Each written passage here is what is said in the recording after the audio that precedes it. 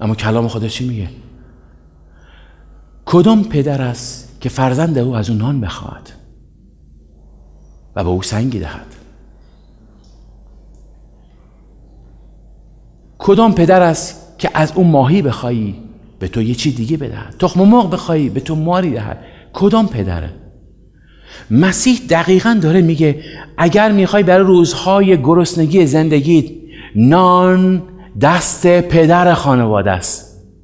خدا قول داده که دست پدر یه خانواده رو پر کنه به شرطی که این پدر می‌خواد در جایگاه سلامتی بیسته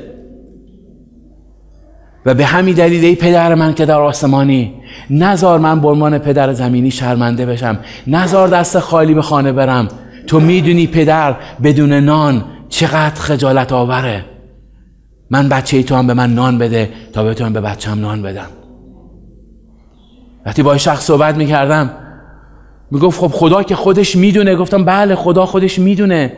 هر پدر مادری می‌دونه بچه گرسنند اما همیشه صداش می‌زنه. بچه چیزی می‌خوری؟ آره می‌خوام یا نمی‌خوام.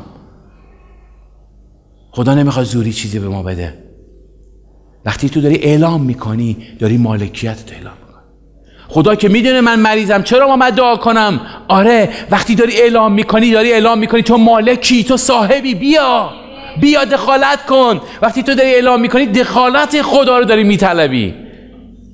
و خدا می‌خواد با این جمله که تو میگی دستتو دراز می‌کنی داری اعلام می‌کنی که تو برتر از نیازهای منی. تو بزرگتر از بدبختی های منی. تو عظیمتر از درماندگی های منی. بیا و عمل کن.